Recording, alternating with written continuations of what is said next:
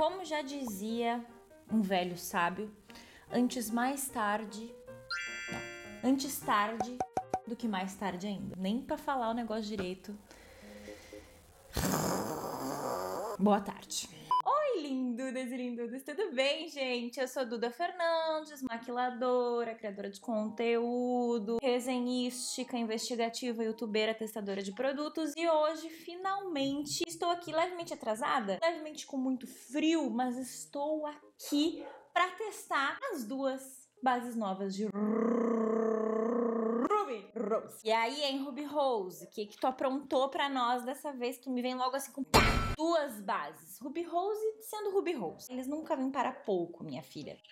Vamos ver, descobrir. Tô aqui com minha cola, né, para passar a informação de uma forma completa e correta. Então estão disponíveis em 12 tonalidades a base Serum e a base Fluida ou fluida. 12 cores, acho pouco para Ruby Rose, já começo falando isso. Mas vamos ver aqui como é que tá o range ainda. Nem vi, tá? Tô falando assim porque eu sou de eu sou faladeira. Quer tratamento, hidratação, cobertura na medida certa? A base Serum Fios Mood é a resposta. Com FPS 20, acabamento semi-mate, cobertura leve, ideal para makes leves e uso diário disponível em 12 tonalidades. Tem vitamina E, excelente antioxidante, combate o envelhecimento precoce, garantido hidratação. Também tem extrato de orquídea, que melhora o aspecto da pele, uniformizando a pigmentação. Basicamente, a proposta, pelo que eu entendi, é ser uma base que te dá tratamento também. Enquanto a base fluida diz que é pro time que ama uma base líquida, cobertura média, leve, textura fluida, ácido hialurônico, efeito preenchedor e disponível em 12 tonalidades. Então, tem ácido hialurônico, extrato de chá verde, vitamina E e extrato de algas marinhas. Aí aqui tem o corretivo, que eles não me mandaram, Ruby Rose. Pode te fazer um favor, eu também quero testar, o povo tá pedindo. Manda o restante da linha, obrigada, querida. Beijo, amo vocês. Mas, apesar disso, você sabe que meu compromisso aqui é com vocês. Então a gente vai testar da forma mais testativa possível. E eu vou falando pra vocês as minhas impressões, o que eu gostar eu vou pontuar e o que eu não gostar também, porque é assim que funcionam as resenhas aqui nesse canal, beleza? Eu vou começar pela fluida, só porque é mais leve e tal, eu acho que vai ser um negócio. Mas a segunda cor aqui, que é a C02, pareceu extremamente alaranjada para mim, para ser um segundo tom, eu diria aqui. Também, aqui tá a primeira cor e aqui tá a segunda. Tá vendo como ela é muito laranja? Então, para quem é só um pouquinho mais escura e a primeira cor vai ficar clara demais, essa segunda eu acho que já vai ficar meio distante demais. Mas vamos ver. Eu naturalmente vou aplicar ela só na metade do rosto aqui, ó, com um pincel, tá? Pra gente ver primeiro como é que vai ser aqui a cobertura. Ai, desculpa. Já senti que ela é uma base bem confortável, bem confortável mesmo, tu nem sente que tá muito de base não. E a cobertura me surpreendeu, eu pensei que fosse ser bem menos cobertura do que tá aqui, justamente porque ela é uma base extremamente líquida, né? Acho que deu pra ver aí. E essa cor aparentemente ficou perfeita pro meu tom de pele. Vamos ver se ela não vai oxidar. Mas o que quer dizer que já exclui uma galera aí, porque apesar de vocês acharem que eu sou super branca e tal, sim, eu sou branca, sou clarinha, mas tem muito seguidor que me fala que não acha, né, base pro seu tom e é mais claro que eu. Tipo, ai, Dudu, eu vi que tu testou, quero saber se é a primeira cor, porque se for já não vai dar pra mim, porque eu sou mais branca que tu. Enfim, tem questão de subtom também que a gente sabe, né? Mas pelo menos essa cor funcionou bem, nem vou precisar ir para outra que eu acho que vai me deixar extremamente laranjovski. Essa segunda cor eu diria que é só para quem tem um subtom de pele bem quente. Quem tem a pele um pouquinho acima da minha e um subtom muito quente. É bem amarelada ou é mais alaranjada. Essa base assenta aqui, eu vou abrir com o pincel, eu achei que ela aplicou super bem com a esponjinha. Provavelmente ficaria com uma cobertura mais leve, mas eu não vou testar hoje como ela ficaria, porque do outro lado eu vou aplicar a base Serum, que eu achei legal fazer esse comparativo entre as duas. E vocês sempre me perguntam qual comprar, então vamos testar já as duas aqui. Ah, achei bem esquisita. Ah, tá, é que ela veio meio mal concentrada mesmo, tem que dar uma sacudida, eu acredito, ó, senão ela sai meio que... Ui! Disforme. Eu acho que para mim, eu vou usar só a clara pra gente ver bem a cor. Eu acho que só eu, né, que não resenhei essa base ainda nessa internet. Mas tudo bem, né? Os últimos serão os primeiros. O mesmo pincel que eu apliquei a base do outro lado, eu vou aplicar ela aqui. Eu dei uma sacudida, mas eu achei que a textura dela tá meio diferente. Pelo menos do que a segunda cor ali, tá? Mas vamos ver aqui.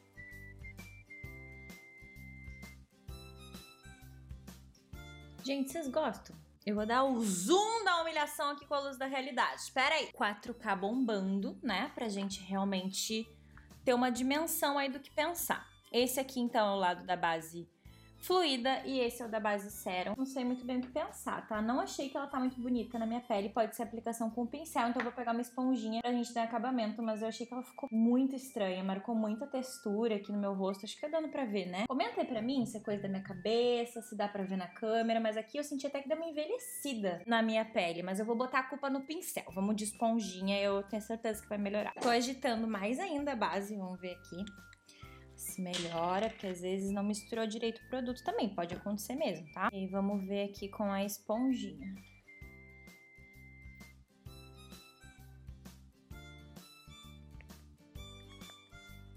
Essa é a primeira vez que eu tô usando essas duas bases e eu também não cheguei a ver resenha. Na verdade, eu não vi o povo falar muito dessa base. Não sei se porque eu tava muito tucanado, não tava mexendo tanto no Instagram e no YouTube, mas eu não vi como é que foi o frição. Assim, foi positivo, foi negativo? O que, que vocês acompanharam? Vocês me atualizem. Mas assim, tá me parecendo que eu não vou gostar muito da textura dessa segunda base e que eu gostei bastante da primeira. Vamos ver até o final desse vídeo que tudo pode mudar.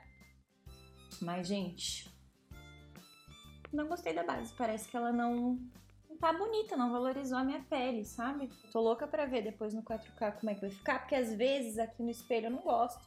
Mas eu vejo na tela com 4K e eu acho que fica bom. Ou às vezes fica pior ainda, né? Também tem isso. É uma loteria. Mas enfim, enquanto essa base senta aqui no meu rosto, eu vou aplicar um pouco mais aqui desse lado, só pra não ficar com tanta diferença de cobertura. E vou dar batidinhas com a esponjinha, assim a gente já testa também as duas ferramentas e eu conto pra vocês o que, que eu acho da aplicação do lado fluido com a esponjinha.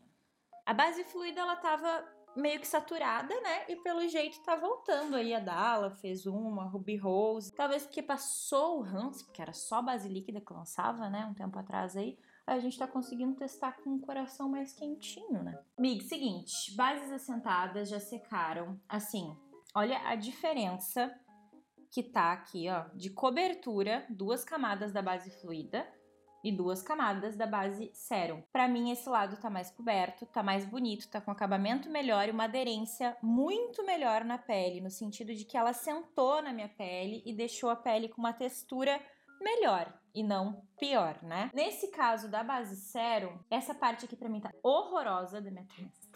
E, tipo, não faz tanto tempo assim que eu apliquei. Não é comum isso acontecer com qualquer base que eu passo, entrar nas linhas assim, dessa forma. Então pode ser uma questão de textura dela mesmo, que é mais. Não sei exatamente o que pensar, porque se essa é mais fluida não aconteceu isso, não faz muito sentido na minha cabeça. Nessa região do meu rosto, a impressão que eu tenho, e aqui, ó, é que ela me envelheceu, sabe? Que eu tô. Ó com uma base bem mais pesada e não necessariamente que cubra, mas com uma textura mais pesada do que ela realmente é e ainda sem me dar a cobertura que eu gostaria para arcar com essa carga que ela deixa no acabamento. Então, assim, para um primeiro uso, eu não gostei dessa base, eu achei que ela vai ficar péssima em quem tem pele seca, por exemplo, em quem tem pele mista, que é o meu caso. Enfim, gente, aqui tá marcando até aqui assim, vocês conseguem ver?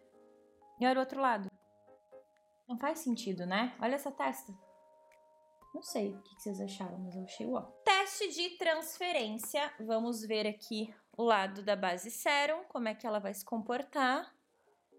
Transfere, como eu já imaginava. Pouco, tá? Não é nada assim, oh my god. Agora o outro lado do papel, virei pra gente ver o outro lado da base. Também não, nossa, esse lado aqui ela realmente não transferiu quase nada, tá? Então, esse lado aqui transferindo bem menos, esse aqui transferindo numa medida bem aceitável, eu diria. Teste da água com carrasquinho. Gente, o carrasco está prestes a mudar de roupa. Então, aproveitem ele assim, com essa roupinha nos seus últimos momentos exercendo sua profissão, porque em breve ele irá mudar e esse aqui vai se aposentar. Vamos pro momento da sofrência! Vamos ver se essa base resiste à água. Pelo que eu vi, nenhuma delas promete isso. Ui, socorro, senhor amado.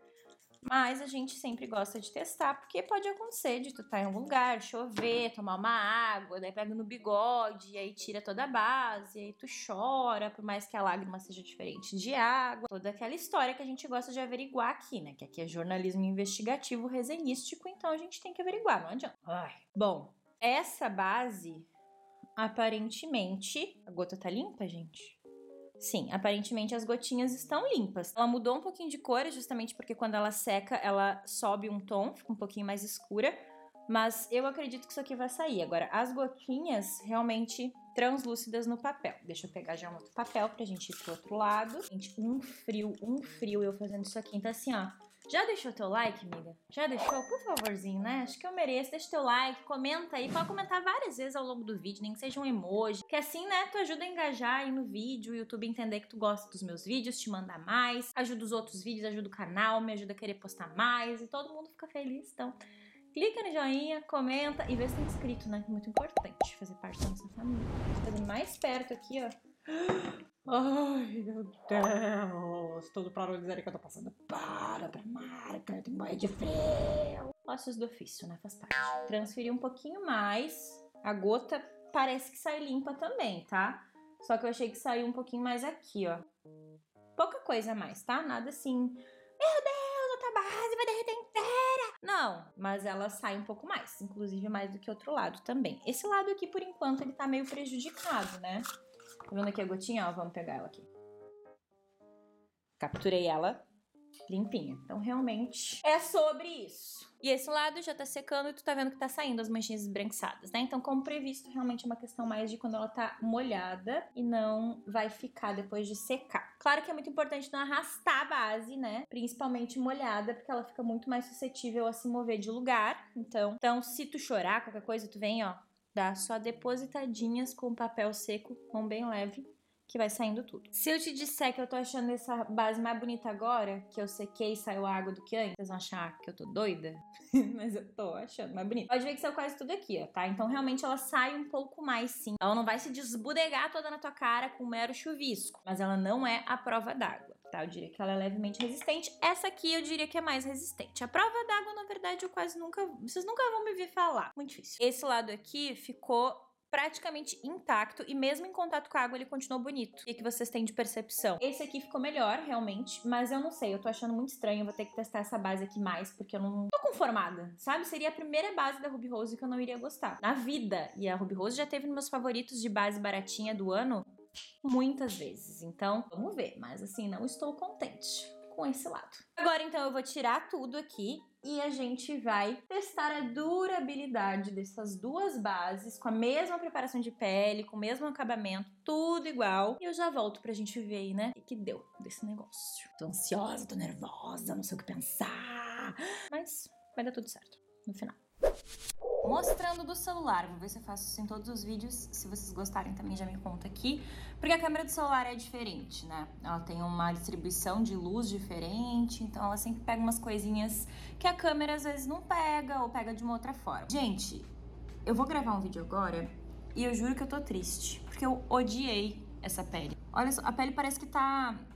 Ai, vocês estão vendo, né? Olha que isso. Isso aqui. Gente, o que, que isso aqui? Tá marcando tudo na minha pele. Tudo que tem e o que não tem. Eu não sei o que, que aconteceu. Qual foi o surto que deu com essa base aqui, gente. Mas sinceramente, tô bem decepcionada. Assim, a cobertura é ruim, ela parece que não adere na pele, ela parece que salienta textura, que salienta, salienta linhas e uma base sérum, né, não era para fazer isso. Tudo bem, cobertura leve é o que ela promete, então a gente não vai esperar um reboco, mas eu não tô falando de potência de cobertura, eu tô falando de qualidade, de acabamento de cobertura. E isso realmente eu achei que ela deixou muito a desejar, independente de ser leve, de ser média, de ser pesada. Mas, vamos lá, né? Tudo pelo jornalismo investigativo.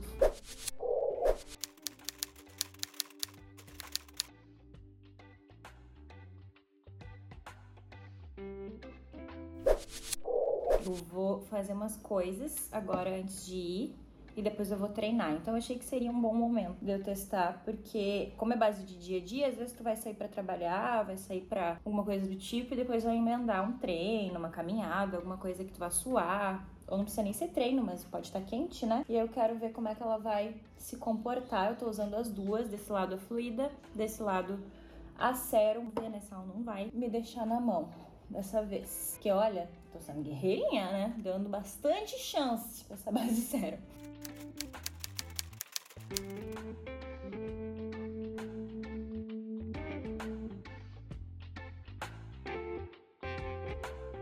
Bom, estou de volta aqui devidamente maquilada. Inclusive, se quiser ver essa maquiagem, provavelmente já está lá no meu Instagram. Ou se ainda não tá, vai tá. E naquele aplicativo vizinho lá, também, Ticoteco, oficial da Fernandes nos dois. For me seguir lá, comenta que tu veio do YouTube, que eu vou adorar saber que vocês estão migrando de cá pra lá e de lá pra cá. E assim a gente vira uma família em tudo que é lugar. Mas enfim, gente, seguinte. Essa base sério me deixou muito confusa. Eu ainda não sei muito bem o que pensar sobre ela. Aliás, eu sei, mas eu fiquei um pouco triste. Porque de fato é a primeira base da Ruby Rose que eu não gostei, que eu não me adaptei e que eu não vou usar. Eu achei que ela tem uma cobertura realmente muito leve, como a marca fala aqui. Porém, eu achei que foi um leve que me deixou com a pele mais feia, não mais bonita. Então, obviamente, não gostei disso. Ela realmente pareceu não aderir tão bem na minha pele. Por mais que eu polisse, sabe, mudasse de ferramenta, usei com esponjinha, usei com pincel, usei com a mão. E não gostei de nenhuma das formas de aplicação. Todas elas eu me senti um pouco desconfortável. Não necessariamente no sensorial de toque, assim, ah, minha pele tá pesada. Não, não isso. Mas o que eu via no espelho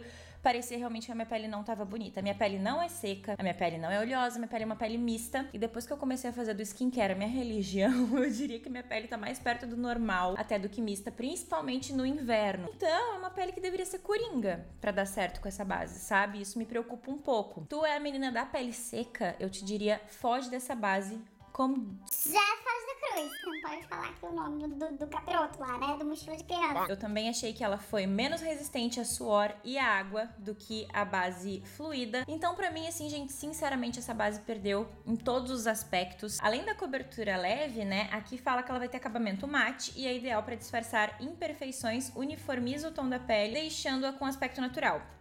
Isso realmente eu não achei que ela faz. Eu achei que ela ficou tudo menos natural na minha pele, apesar de ser uma base leve. Então, realmente, eu não entendi o que, que aconteceu, qual que foi a incompatibilidade aí. Eu queria muito saber se tu já testou essa base. Eu queria muito que tu me contasse aqui embaixo qual é o teu tipo de pele, como é que tu aplicou, qual o clima onde tu mora e o que que tu Voltando, que eu não gostei, mas também não é para tanto, né, coitadinha? Pobrezinha da base. e o que que tu achou dessa base? Qual foi a tua opinião? Acho que vai somar muito para esse vídeo, porque assim a gente enriquece o conteúdo. Vocês podem sempre ler nos comentários que eu sei que vocês adoram ler, tá? Já a base fluida foi uma linda surpresa, principalmente quando tu não gosta de um produto, tu já fica meio assim, né? Meio desconfiado de que tu não vai gostar do outro. Mas eu amei essa base. Eu achei ela super natural, super leve, super fluida, mas ao mesmo tempo ela cobre. Achei que ela cobre mais do que essa, inclusive.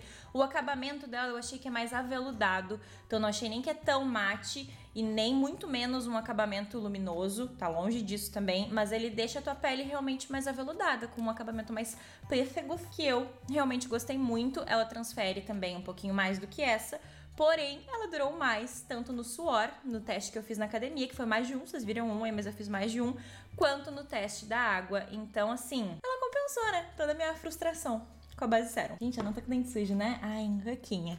E já falei, ai, que da cobra. Ignora, tá? Era só batom mesmo. Como eu comparei as duas, esse vídeo ficou mais para nosso quadro lá, qual eu compro, do que pro Sinceriduda. Então a gente não vai ter notas, não vamos ter tópicos, mas acho que deu para entender bem minha opinião e minha experiência com as duas bases e que obviamente eu vou usar muito essa base aqui porque eu gostei muito dela. E essa aqui acho que eu já dei todas as chances que eu podia dar para ela, gente. Então eu vou dar para alguém que possa aproveitar, né? E vida que segue. Mas realmente eu não gostei, para mim ela não deu certo, não funcionou. Ah, com relação à durabilidade, como são duas bases mais finas, mais líquidas, a gente sabe que elas não são bases que vão durar muito, porque elas formam uma camada mais fina na pele, o que faz com que cada vez que ela vá transferindo um pouquinho, ela vá saindo mais rápido e logo como a camada não é tão grossa por ser uma base fina, isso acontece mais rapidamente, normal, super esperado. Essa base aqui ficou bonita na minha pele em torno de umas 5 horas, 6 horas, com pouquíssimo pó pouquíssimo pó mesmo, coloquei só aqui na região dos olhos, um pouquinho no nariz, porque eu realmente, né, tenho rinite. Já essa daqui, gente, com 5 horas de uso, ela tava muito feia na minha pele. Na verdade, com uma hora de uso, ela tava muito feia na minha pele, como vocês viram no trechinho que eu deixei.